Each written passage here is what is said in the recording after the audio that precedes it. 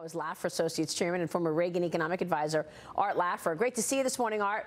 Good to see you, Maria. That section with you and Joe Piscopo was the most entertaining I've seen in ages. you two ought to go on the road. That was just wonderful. He is great. Yeah, I love he having is him great. on. You are too, by the way. You really played right with it. It was oh, great. thank you, Art. So let's talk about the economy here because it looks like things are going well, and yet you still have that off chance that we're going to see a recession over the near term or maybe a recession in 2020. We know earnings have slowed down quite a bit. What's your take on where we are right now, given the latest numbers, Art?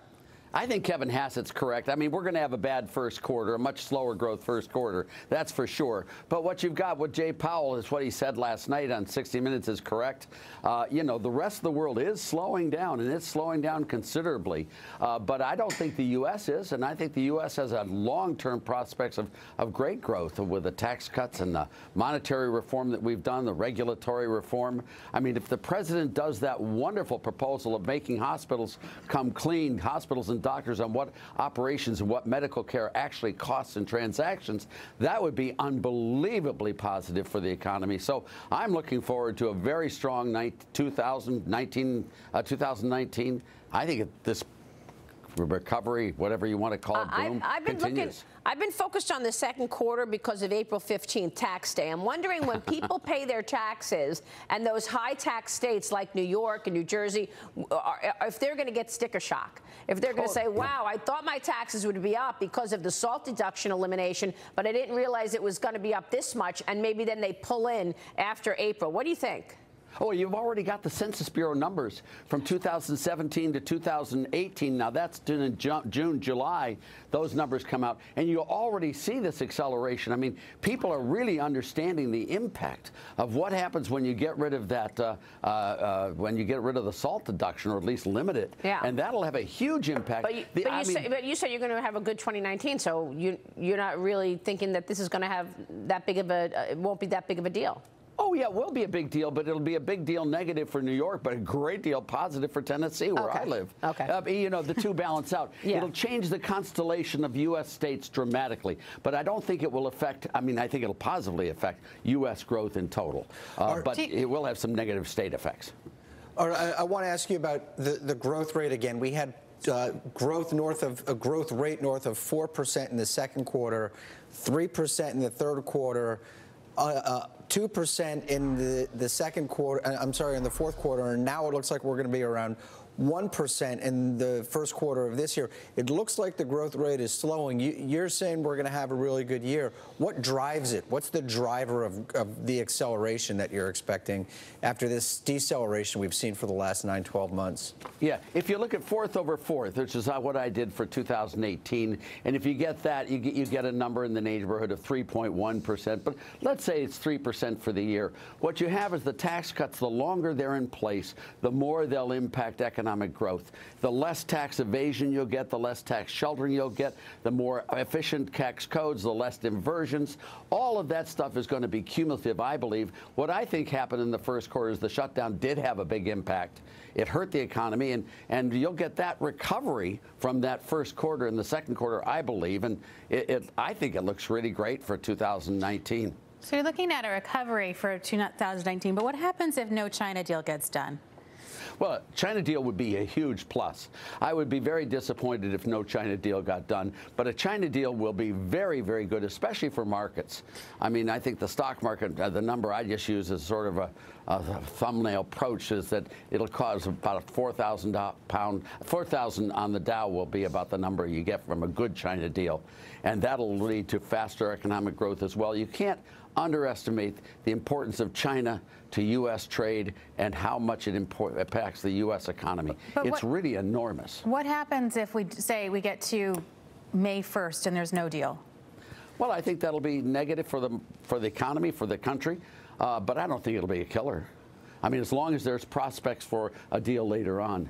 Well, they're talking about the Mar-a-Lago meeting now going into April because, you know, they haven't set a date for the president to meet with Xi Jinping. Obviously, it feels like something broke down here. I don't, I, I don't know if China is balking at the idea that it needs to stop stealing IP Well, or what. Well, apparently there was reporting in the Wall Street Journal that they were that Xi Jinping was thrown off by President Trump walking away from the North Korean summit, and he did not want to go into any meeting at Mar-a-Lago with President Trump without a, a deal that was ironclad.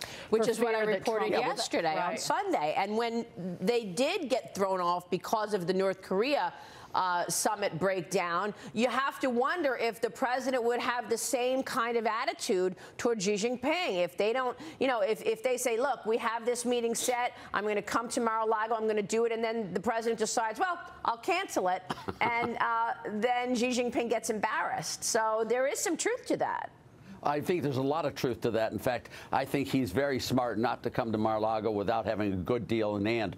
Larry Kudlow was on the show this weekend and said, you know, there's no deal that we'll do that's not a good deal. And that's the correct way to be. I mean, we've waited a long time for this deal with China. It's been a long, long slog. Yeah. And, you know, why rush it and not get the right deal? If we're six months later, who cares? In the long run, all of that doesn't matter. What we really need to do is have free trade with China, and free trade with China is enormous for the U.S. I mean, with, with, without China, Yeah. there is no Walmart. And All without right, we, want to look at no the consumer because we're waiting on retail sales. We're going to get retail sales in about 30 seconds. And the Okay. estimate right now is for retail sales for the month of January to be unchanged. But those numbers are, are coming out literally imminently. Would you say it's the consumer or the business sector really driving growth here? Because that CapEx number that we got last week was pretty impressive, actually.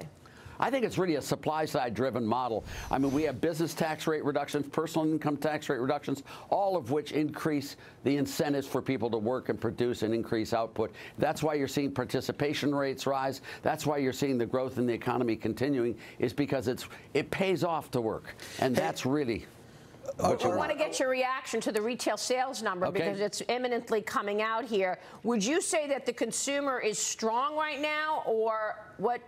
Up two tenths of a percent is the number. This is actually better than expected, Art. We were expecting an unchanged number, and retail sales for the month of January are up two tenths of a percent. Your reaction? I think that's great. I mean, I think it's right in line with what I expect. I expect a long-term period of economic growth in the U.S. And all of these people who say it's a sugar high from the tax cuts and all that are just plain wrong. Those tax cuts aren't going back up again. We're going to have those tax rates in place for a long time, and they will increase economic growth for a long time. Retail sales better than expected, Jon Hilsenrath. Two tenths of a Uh, percent. we, we also have to see if there's any kind of revisions on the December numbers, but a January number of two tenths is that, that's that's good news that consumers It kept nice. it going in in the in, in January when we had a government shutdown. A lot of people thought that actually could that could even push the numbers down. Or, or I I, want to ask you while we're waiting for these December numbers to show up about the outlook for government spending. So there's a budget out today from the White House calling for 5% discretionary uh, budget cuts. It looks like just the app, the opposite is going to happen in Washington. It looks like, you know, there, there are budget caps that go back uh, in place on October 1st if there isn't a new budget deal. It looks like there's going to be a new spending deal, and there's going to be more spending and not uh, cuts in uh, not cuts in spending as the White House Oh, is boy. proposing. Senate. What do you? What You're, is, you're is that ruining okay? my day.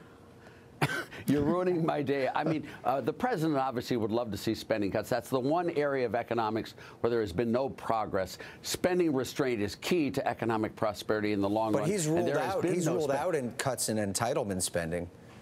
Well, he's well, it's a five percent cut across the board. I thought non-defense spending is what I thought he'd ask for Right. uh, in this, and that you know Congress will do what they'll do. But I think he's really laying this up for a political issue in 2020 because ultimately, without spending cuts, you're not going to get the long-term prosperity What we really the heck need. happened in, in December, Art? The revised retail sales number is not good. Uh, December was initially down 1.2%, and we've got a revision here for the month of December, which is now showing a decline of 1.6%. Was this an outlier, or did something, I mean, was this just the market volatility that we saw at the end of last year? Well, we did see a lot of market volatility, which would push retail sales down. I mean, that's really true. But I think it's an outlier. I mean, I, I just can't see that that's the correct number long term. I mean, if it is there, maybe it's the timing of the month or whatever. The seasonals are off, but that's not a normal number. All right, we will leave it there. Art, great to see you, sir. Thank you. Thank you, Maria. Art Laffer joining us there. We got the breaking news on retail sales. Markets are still lower. Not a major reaction. We're expecting a decline of almost 200 points on the Dow, largely due to Boeing. Stay with us. Música